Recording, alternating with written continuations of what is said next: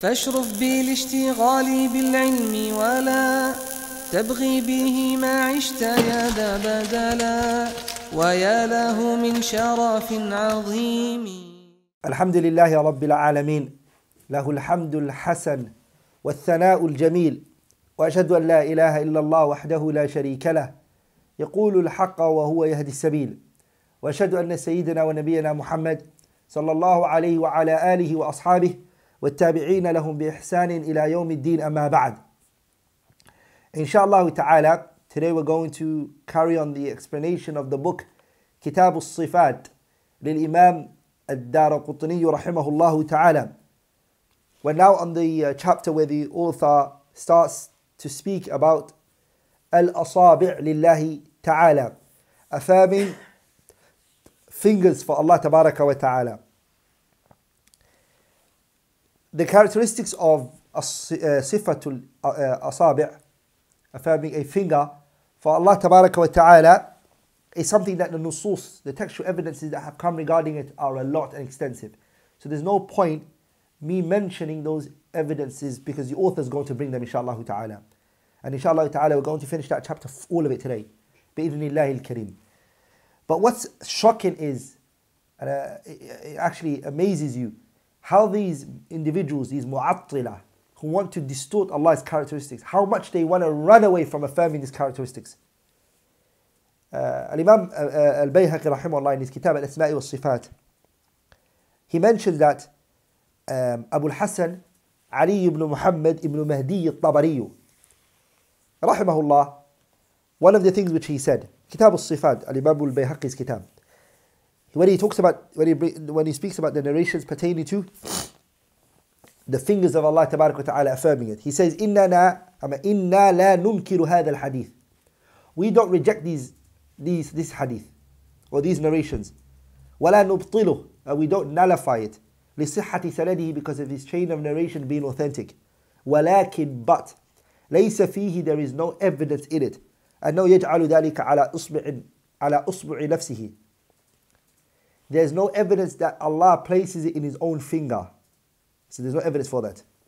وإنما فيه but rather what's in it is أنه يجعل ذلك على أصبع but the evidence that's there that Allah places it on a finger okay and not on his finger there's no evidence that it's his finger okay فيحتمل أنه أراد إصبعا so he says it's possible that Allah intended من أصابع خلقه from a finger of his creation وإذا لم يكن ذلك في الخبر لم يوجب أن يجعل لله إصبعا since that's not in the evidence it's Allah's finger so there's no evidence to give Allah تبارك وتعالى a finger now إلى هذا الحد these تأويلات غريبة shocking and later we're going to see how false and how in, incorrect that statement is you see we're going to see that inshallah ta'ala بإذن الله الكريم so this is to be honest it is actually rejecting and distorting the ahadith of the Messenger sallallahu alaihi wasallam and the ayat. It's distorting it. Now the question arises is that kam lillahi, how many fingers does Allah tabaraka wa ta'ala have? Naskutu. We should be quiet and not talk about al hasri to restrict it to an amount. We shouldn't. Why? لوجوب السكوت عما سكت الله عنه wa. We should be silent about that which Allah and His Messenger were silent about. We shouldn't talk about. It. But what we affirm is narrations that state Allah has five fingers and narrations that state Allah has two fingers. As to say that these are the only fingers that He has, subhanahu wa ta'ala, then we are not going to. We would need evidence to restrict it to this amount. But what we know is that Allah Ta'ala narrations state that He has five, subhanahu wa ta'ala that He has two. There are narrations that um, state that. So we'll affirm those narrations and the, and the meaning that are in it. As for restricting it to an amount, that requires evidence from the Kitab and the Sunnah, which we don't have evidences for.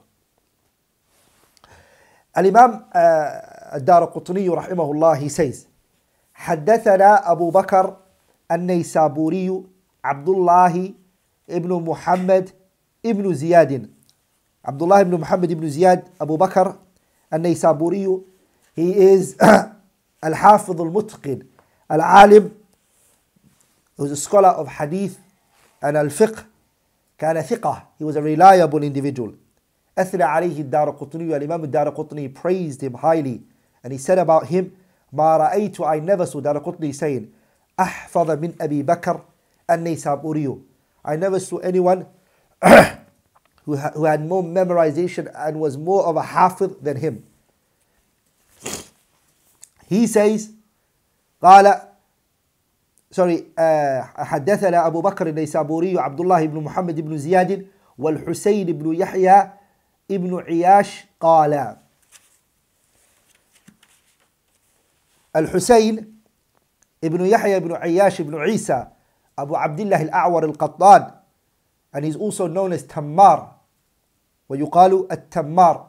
His and his biography is in the book تاريخ بغداد they both said Abu Bakr al-Naysaburi and al-Husayn ibn Muhammad ibn Yahya uh, ibn Iyash قال both of them said so Dar Qutni narrated from two people Al-Imam Dar Qutni narrated from, how many people? Two people. He narrated it from Abu Bakr al-Naysaburi, Abdullah ibn Muhammad ibn Ziyad, and he also narrated from Al-Husayn ibn Yahya ibn Iyash.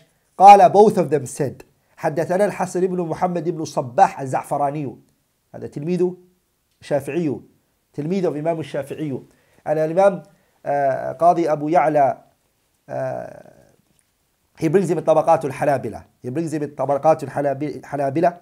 Because he's from those who narrated from Imam Ahmad ibn Hanbal as well. قال both of them said حدثنا الحسن بن محمد بن الصباح الزعفراني وأخبرنا so he says حا this is تحويل السند. This is a what? تحويل.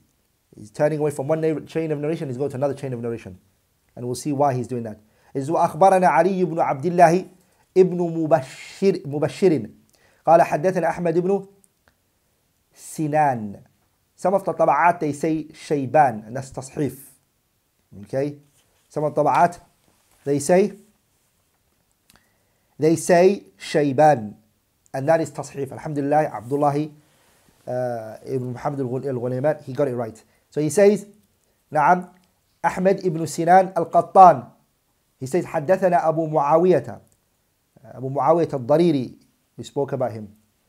حدثنا he said الأعمش هو سليمان بن مهران عن إبراهيم يعني إبراهيم النخعي عن علقمة علقمة هي اسمه ها what's his name علقمة his name is علقمة بن قيس النخعي عن عبد الله يعني عبد الله بن مسعود رضي الله تعالى عنه he said قال جاء إلى النبي صلى الله عليه وسلم رجل so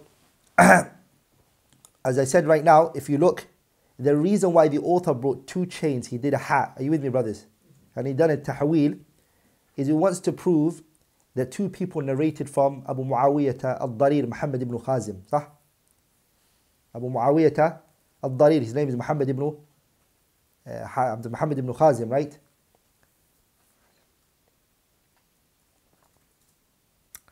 Two people narrated from him. One is who? Al-Hasan ibn Muhammad al-Za'farani. And the next one is Ahmad ibn Muhammad Ahmad ibn Sinan al-Qattan. That's why he said here qala. Do you see why he said qala both of them both of them Al-Hasan ibn Muhammad al-Za'farani Muhammad uh, Al-Hasan ibn Muhammad ibn Sabbah al-Za'farani. And Ahmad ibn Sinan al-Qattan both of them narrated from Abu Muawiyah al-Darir ibn Muhammad ibn Muhammad ibn Khazim both of them narrated from Abdullah ibn Mas'ud radiyallahu ta'ala anhu قال that he said جاء إلى النبي صلى الله عليه وسلم رجل a man came to the prophet so pay attention here here later the narrations to come Dara Qutni is going to bring this man we're going to know he's a habr he's a habr first we're going to know two extra narrations are going to mention two extra things for us first of all we're going to know that because this narration just says min ahli kitab. Inshallah ta'ala he's from the people of the scriptures. We're going to find no he's not just min ahli kitab. Ahli kitab can be a christian or a jew right? It's the man who came was a jew. And another narration actually explains to us even more that he was a habr. He was a scholar from the Banu Israel so those fawaid Dar Qutni will bring narrations for every little extra information that you will need and that's why you might think to yourself, these tikrarat, why is he mentioning so many narrations? Because there's going to be so many narrations just on this story, but every time there's going to come a benefit that's not any other one. So what he says is that he says, جاء إلى النبي صلى الله عليه وسلم رجل. A man, a man came to the Prophet. That's the narration of who? Ahmad ibn Sinan al-Qattan. That's what he said. As for Al-Hasan ibn Muhammad ibn Sabbah al-Za'farani's narration says, أتى النبي. So instead of جاء, أتى came. أتى النبي صلى الله عليه وسلم رجل. A man came to the messenger من أهل الكتاب. So he's a Yahudi, Habr. And other narrations are going to mention that. فقال the man said, يا أبا, أبا القاسم Oh Abu al-Qasim. أبلغك has it reached you أن الله عز وجل that Allah تبارك وتعالى يحمل الخلق that Allah will carry the creation على أصبع on a finger والسماوات على أصبع and the heavens on a finger والأراضين على أصبع and the earth on a finger والشجر على أصبع and the trees on a finger والثرى على أصبع thara means the sand and the dust على أصبع on a finger قال فضحك رسول الله the messenger laughed حتى بدت نواجذه until the Prophet ﷺ's molar teeth showed قال then ونزل الله الله down قوله تعالى وما قدر الله حق قدره والأرض جميعا قبضته يوم القيامة والسماوات مطويات بيمينه سبحانه وتعالى عما يشركون So this ayah came down. Now, subhanallah, subhanallah, Ahlul Bid'ah, Ahlul Bid'ah, instead of affirming these characteristics and saying, and these narrations, by the way, it's actually in Sahihain, Bukhari and Muslim. In Sahihain, in Bukhari and Muslim, both these narrations that we're reading right now. Are you with me? Instead of uh, accepting it, what do they do? Instead of acknowledging it and affirming it, what do they do? They choose not to. They say that this Jew, when he said what he said, the Prophet laughed because the Prophet was shocked with him. Ah. And هذا حقيقة الأمر this is what? It's a slander to the Messenger عليه الصلاة والسلام. Because you're saying that the Messenger صلى الله عليه وسلم a munkar will be mentioned and he عليه الصلاة والسلام will be silent about it.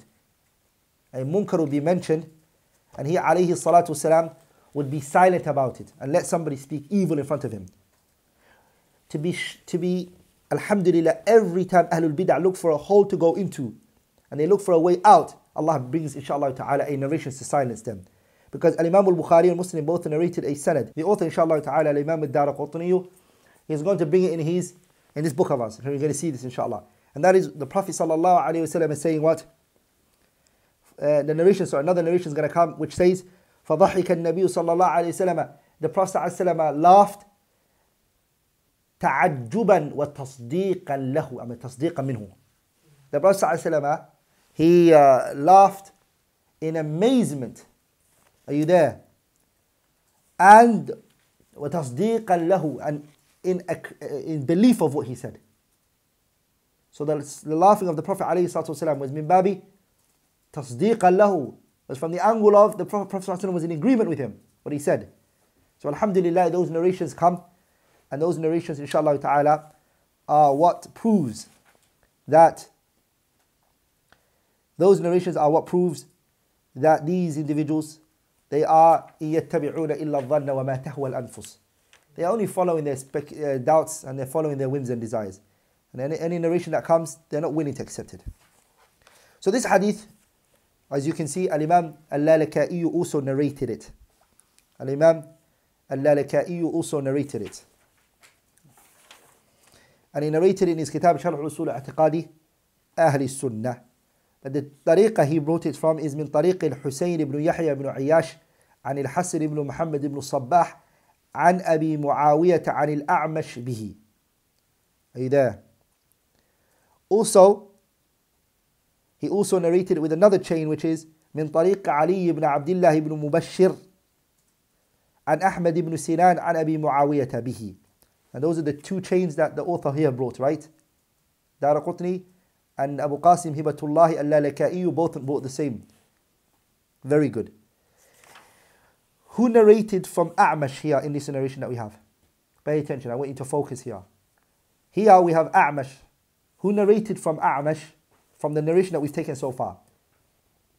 We've only, both of these uh, chains that he's brought, Abu Muawiyah al-Dariri Muhammad ibn Khazim. He's the one who narrated from him. Sahih? Pay attention. I want you to memorize, remember this. So the author, Ad-Darqutni, is doing the following. Right, note this down. He brought a chain from Abu Muawiyah al-Dariri Muhammad ibn Khazimi. That we already have. He's going to bring another chain who narrates from Sulaiman ibn Mihran al-A'mash, another person, second person. Is who? Hafs ibn Ghiyath. Hafs ibn Ghiyath. Hafs ibn Ghiyath, we're going to see his narration inshallah soon. That's the second. Okay? The third is Jarir ibn Abdul Hamid. We're going to see that inshallah ta'ala. Four, Abu Awana. We're going to see Abu Awana's one inshallah ta'ala. The fifth, Muhammad ibn uh, Fudayl. Muhammad ibn Fudayl, we're going to see him. Uh, Abdullah ibn uh, Muhammad al Ghulayman, here he does a mistake. There's a tasheef that happens in his one. He calls it Muhammad ibn Fadl, but he's not. It's Muhammad ibn Fudayl. We're going to see it inshallah soon, don't worry. Are you there? So how many do we have that he brought from? We have Hafs ibn Ghiyath, Jarir ibn Abdul Hamid, Abu Awana, Muhammad ibn Fudayl, and last but not least Abu Awana. Five, right? Those are the ones who the author, rahimahullah, brings who narrated from Sulaiman ibn Mihran. And that's his job. That's what he's trying, Daraqutni trying to do now. He wants to show that not one person narrated from Sulaiman ibn Mihran. So you don't think all these chains, they keep coming back. But there are other people he has left. There's three other narrators who also narrated from Sulaiman ibn Mihran and A'mash, who the author Daraqutni didn't bring. He is Isa ibn Yunus. Muslim brought him, and Nasa'i brought him. Daraqutni didn't. Qais ibn Rabi' ibn Battah brings it in Kitab al-Ibana. Ibn Ubattah brings in his Kitab al-Ibana. The author doesn't, Dar Qutni doesn't. The third one is Abu Muqarrin. Ibn Hajar brings it in his Taghliq al-Ta'liq. Very good. there is another chain of narration that you'll find in Kitab al-Asma'i wa Sifat by Imam al-Bayhaqi rahimahullah in which he tries to narrate it from Al-Qamat ibn Qais al-Nakha'i. Al-Bayhaqi rahimahullah ta'ala. Lakin that is على سبيل الخطأ والوهم. It's a mistake on the side of Bayhaqi rahimahullah ta'ala. That is not correct. So that's inshallah ta'ala what we're going to see. So every time I'm going to remind you, who do we have now? Good. Who do we have now? Good. So you always remember that we we, we have to have five people who narrate from Sulaiman ibn Mihran al-A'mash. Then the author, rahimahullah, the author, he says, Al-Imam al-Dar al-Qutni says, the next hadith,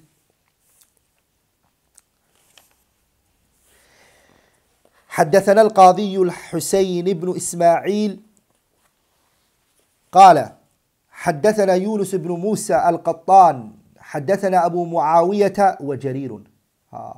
Here we have what? جرير بن عبد الحميد right? The second person واللفظ لأبي معاوية but the wording is written is, is owned by who?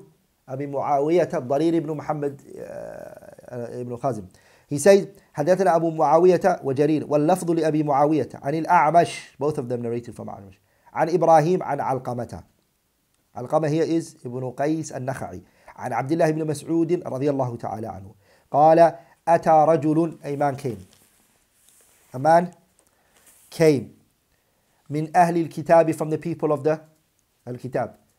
النبي صلى الله عليه وسلم came to the prophet. فقال يا أبا القاسم. He said أبا القاسم أبلغك has it reached you أن الله جل أن الله عز وجل that Allah تبارك وتعالى يحمل السماوات على أصبع والأراضين على أصبع that Allah is going to carry the samawat on a finger والأراضين and the earth on a finger والخلق على أصبع and the, the creation نعم Abdullah ibn Ghunayman he says والخلائق right this the, the طبعة doesn't say خلائق it doesn't say خلائق it doesn't say it rather this خلائق is right, writing written by the nasikh who done naskh of the kitab the asalatan it says al-khalqu the other riwayat that mention خلائق but this narration doesn't say it so this is a mistake on the side of Abdullah ibn Muhammad al-Ghunayman والخلق على أصبع والشجر على أصبع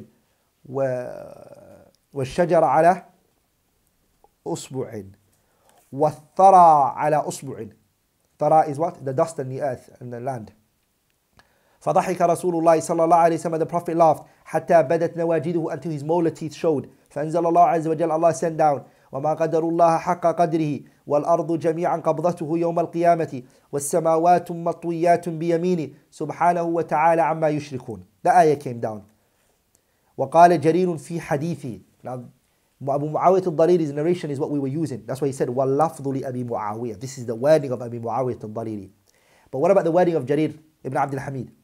وقال جرير في حديثي جرير in his hadith he said والجبال he added mountains to it والشجر and trees على أصبع on a finger والماء والثرى the land and the ocean على أصبع on a finger you see والخلائق كلها على أصبعين إذا جرير بن عبد الحميد's narration says والخلائق and the creation على أصبع on a finger so that's the wording of who? نعم. القاضي الحسين بن إسماعيل his name is محمد الماهلي قاضي أبو عبد الله الإمام الذهبي mentions his ترجمة on the 15th volume page 258 He's العلامة المحدث الثقة مسند الوقت he says about him. الإمام الذهبي says he's an علامة a person who is excessively knowledgeable.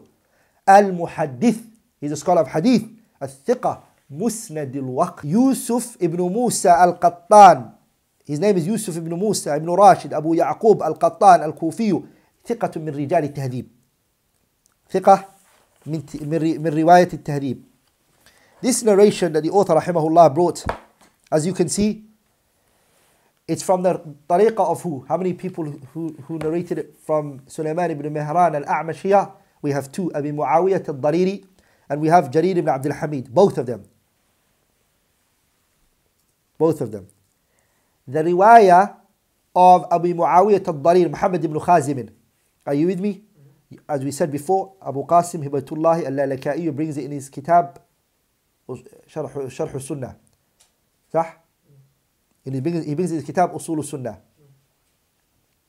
ابن بطة الكتاب الإبانة أحمد his مسند ابن خزيمة كتاب التوحيد بزار كتاب البحر الزخار ابن أبي عاصم كتاب السنة عبد الله بن أحمد بن حنبل his كتاب السنة بيهقي الأسماء والصفات As for Jarir ibn Abdul Hamid's narration, Muslim brings it. Ibn Hibban, Abu Ya'la, Ibn Khuzaymah, Ibn Battah, and Bayhaqi rahimahullah. Very good. Al-Imam al-Darqutni rahimahullah brings another chain of narration. Al-Imam al-Darqutni brings another chain of narration. He says, حدثنا إسماعيل بن محمد النحوي حدثنا أحمد بن ملاعب. حدثنا عمر بن حفص بن غياث. حدثنا أبي his father is who? حفص بن غياث. عن حدثنا الأعمش. Who do we have now narrated from أعمش حفص بن غياث. How many people do you have so far? Three. قال سمعت آيهاد إبراهيم يعني إبراهيم النخعي يقول سمعت علقمة بن قيس النخعي يقول قال عبد الله بن مسعود رضي الله تعالى عنه. This chain of narration إسماعيل بن محمد بن إسماعيل بن صالح بن عبد الرحمن أبو علي الصفار النحوي صاحب المبرد ثقة دار قطني لكن وكان متعصبا للسنة. He was a man of the sunnah. He used to love very strong in the sunnah. He says حدثني أحمد بن ملاعب. أحمد بن ملاعب أبو الفضل المخز... المخ... المخزومي. ثقة. الإمام الدار قطني والثقة. الإمام الدار قطني classified him to be a reliable person. You can find his ترجمة in تاريخ بغداد. عمر بن حفص بن غياث ابن طلق الكوفي ثقة. ربما وهم. Sometimes he might do a mistake. من رجال تهذيب. حفص بن غياث ثقة. ربما وهم. He might do a mistake. من رجال تهذيب. So here Umar ibn Hafs ibn Ghiyath ibn Talq al-Kufiyu is the son. He says, An Abi, Hadathana Abi, my father told me. His father is Hafs ibn Ghiyath. So Hafs ibn Ghiyath narrates from who? Sulaiman ibn Mihran al-A'mash. This narration, in this particular uh, narration and this wording and everything, you find it in Bukhari, hadith number 7,415. Muslim brings it in 2,700. 2786. Bayhaqi brings it in his kitab Al-Asma'i wa Sifat. That the Prophet sallallahu alayhi wa sallam, uh, Abdullah ibn Mas'ud said, جاء رجل أيمان came من أهل الكتاب إلى رسول الله to the Prophet of Allah فقال يا أبا القاسم he said أبو القاسم إن الله عز وجل يمسك السماوات على أصبع that Allah تبارك وتعالى is going to hold السماوات على أصبع on a finger. والأراضين على أصبع the earth on one finger. والجبال على أصبع the mountains on one finger. والشجر والثرى على أصبع the trees and the land. والخلائق على أصبع and the creations on a finger. ثم يقول and then Allah will say أنا الملك أنا الملك. If we take the statement of Abu al-Hasan Ali ibn Muhammad ibn Mahdi al-Tabari How can the creation say An al Maliku, An al Maliku? If we say that the Usbu' is the fingers of the creation, then can the creation say that day, the day of judgment, An al Maliku, An al Maliku? Ah. So the narrations when uh, the Imam al-Qutni brings, you see every time there's a fa'idah in it and a, and a response that you won't find maybe in another narration. So that's why it's good to, re, uh, to bring all the narrations together. So this narration gives us another fa'idah, which is that Allah Tabarak wa Ta'ala, He's, he's the, it's the finger of Allah Tabarak wa Ta'ala. أنا الملك أنا الملك نعم قال فرأيت النبي صلى الله عليه وسلم عبد الله بن مسعود said I saw the Prophet ضحك he smiled حتى بدت نواجذه until his molar teeth showed ثم قال then the Prophet recited عليه الصلاة والسلام وما قدر الله حق قدري والأرض جميعا قبضته يوم القيامة والسماوات مطويات بيمينه سبحانه وتعالى عما يشركون So أخرجه البخاري الإمام البخاري narrated this ومسلم and Muslim narrated it from عن عمر بن حفص بن غياث عن أبيه هكذا So the narration that Bukhari relied upon is which narration? The which one? نعم حفص بن غياث حفص بن غياث's narration Bukhari that's the one he chose. That's the narration that Imam al-Bukhari rahimahullah he chose. الإمام الدار قطني goes on to say حدثنا أبو صالح الأصبهاني عبد الرحمن بن سعيد ابن هارون. He says أخبرنا أبو مسعود أحمد بن أحمد بن الفرات.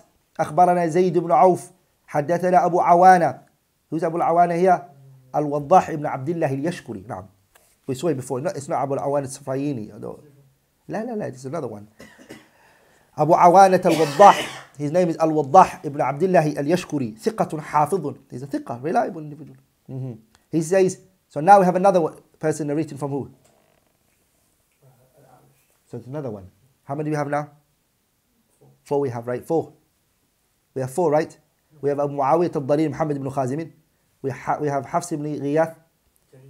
وجرير بن عبد جرير بن عبد الحميد and we're now with the fourth one we're now with the fourth one and who is it أبو عوانة الوضاح ابن عبد الله اليشكري ثقة حافظ حدثنا الأعمش he said أعمش told me أعمش told me uh, سليمان بن مهران عن إبراهيم نعم يعني إبراهيم النخعي عن علقمة بن قيس النخعي عن عبد الله بن مسعود رضي الله تعالى عنه. قال he says أتى النبي صلى الله عليه وسلم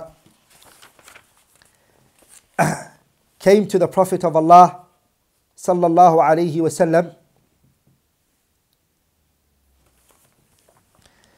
أتى النبي صلى الله عليه وسلم رجل a man came to the Prophet من أهل الكتاب from the people of the scriptures من أهل الكتاب.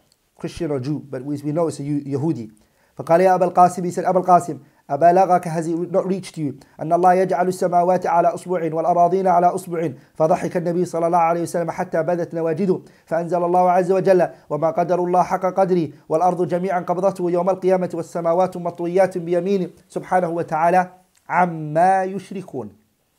So here this narration Al-Imam uh, only mentions that um, that the Jews said أبلغك has it reached to أن الله تعالى يجعل السماوات على أصبع والأراضين على أصبع و والخلائق على أصبع والشجر على أصبع والثرى على أصبع Five فضحك النبي the Prophet laughed عليه الصلاة والسلام and حتى بدت نواجذه until the Prophet صلى الله عليه وسلم's molar teeth showed عليه الصلاة والسلام So the narrators in this hadith are عبد الر... عبد أبو صالح الأصبهاني وعبد الرحمن بن سعيد بن هارون. He's ثقة who narrated from who? أبو مسعود أحمد بن فرات الضبي الرازي you can find his ترجمة in كتاب الجرح والتعديل ابن أبي حاتم نعم he narrated from who? زيد بن عوف and his nickname is his لقبه فهد أبو ربيعة القطيعي Abu Amr ibn Ali al-Fallas. Do you know who Abu Amr ibn Ali al-Fallas is? When we were teaching the kitab, uh, uh, the Asma al-Sahabati fi Sahihain by Daraqutni, we said two scholars wrote this particular field and wrote in it. One was Al-Imam Daraqutni and the other one was who? Amr ibn Ali al-Fallas. He said, متروك الحديث, his narrations are left. وقال أبو حاتم أبو حاتم الرازي said, uh, كان ابن المديني يعني علي ibn al-Madini, he was يتكلم فيه, he would criticize him. وقال ابن أبي حاتم لأبيه عبد الرحمن بن أبي حاتم said to his father ما تقول فيه what do you say regarding زيد بن عوف and he said um, ما تقول فيه فقال تعرف وتنكر وحرك يده ما معنى تعرف وتنكر وحرك يده these أئمة hadith when they, when they move their fingers like this and their hands like this it all means something it's not in other words متروك الحديث leave his narration they preferred not to indulge too much into speaking about him they were just trying to say leave him الجرح والتعديل Awana, we said who he is, Al-Wadah ibn Abdullah Al-Yashkuriyu, thiqatun, hafidh he was. نعم. then الإمام الدار قطني says حدثنا محمد بن سهل بن الفضيل الكاتب حدثنا علي بن حرب حدثنا أبو معاوية ومحمد بن look what he does uh, Abdullah ibn Muhammad al-Ghunayman this is the تصحيف that fell here Because this is the last person we were looking for, right? The fifth person. And it was who? Muhammad ibn? Muhammad ibn Fudayl. Uh, it's not Muhammad ibn Fadl. It's Muhammad ibn Fudayl. Uh, it's Muhammad ibn Fudayl ibn Ghazwan. He is حافظ الصدوق رمي بالتشيع. He was criticized of having تشيع in him. نعم. And um, Ali ibn Harb. Ali ibn Harb. His name is Ali ibn Harb ibn Muhammad ibn Ali al-Ta'i. Abu al-Hassan al-Musili. صدوق نعم. He says حدث so we have the last person we were looking for. Who is who is it? ومحمد ibn فضيل قال both of them said who's, who's, who's the قال going back to? معاوية الضريري محمد ibn خازم and محمد ibn فضيل both of them they said محمد ibn فضيل ibn غزوان both of them they said حدثنا الأعمش سليمان بن مهران told us. عن إبراهيم النخعي عن علقمة عن عبد الله بن مسعود رضي الله تعالى عنه أتى النبي صلى الله عليه وسلم رجل. A man came to the Prophet صلوات الله وسلامه عليه فقال the man said يا أبا القاسم هل بلغك has he not reached you? أن الله عز وجل يحمل الخلائق على أصبع والسماوات على أصبع والأراضين على أصبع والشجر على أصبع والثرى على أصبع. فضحك رسول الله صلى الله عليه وسلم وأنزل الله عز وجل وما قدر الله حق قدره والأرض جميعا قبضته يوم القيامة والسماوات مطويات بيمينه. سبحانه وتعالى عما يشركون. So here um, here we have the five that we were looking for. Here we now have the five that we were looking for that Dara Qutni And there are other three that he hasn't brought, right? That we mentioned. Now,